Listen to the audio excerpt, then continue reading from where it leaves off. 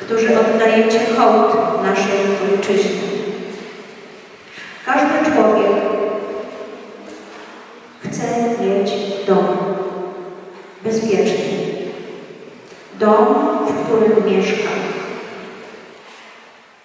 W szerokim tego słowa znaczeniu dom to Polska. Bardzo Cię proszę, jeszcze chwilę. Dzisiejszy dzień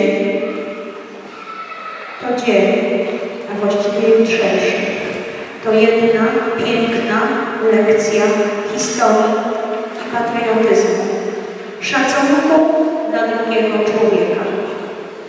Oby nigdy w naszym kraju nie było tak, że zamiast rosy na ziemi leży krew.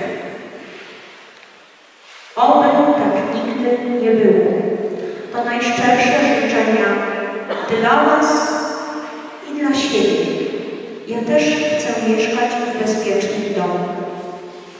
W naszej Polsce, która jest niepodległa od wielu lat. Bardzo Was proszę, przekażcie dzisiaj w Waszych domach, że uczestniczyliście w spotkaniu, wyśpiewaniu niepodległości i patriotyzmu, że jutro wielkie święto państwowe. Jak możecie, tak oddajcie hołd naszej ojczyźnie.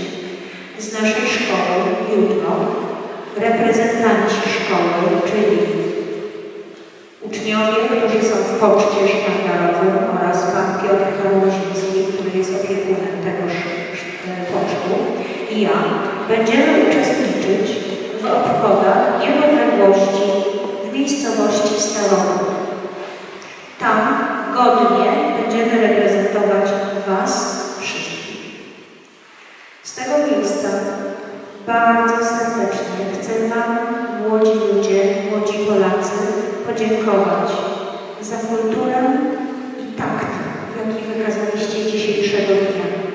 Ubraliście się godnie, w strój odświętny.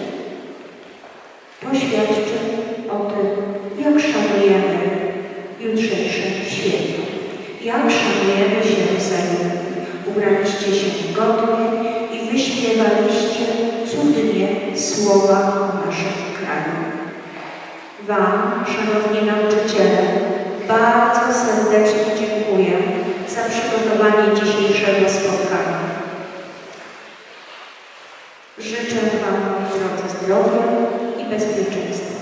Dziękuję bardzo serdecznie. Sprawdzam czas, jest 10.31, więc będziecie mieli o 4 minuty dłuższą, długą przerwę. Teraz zapraszam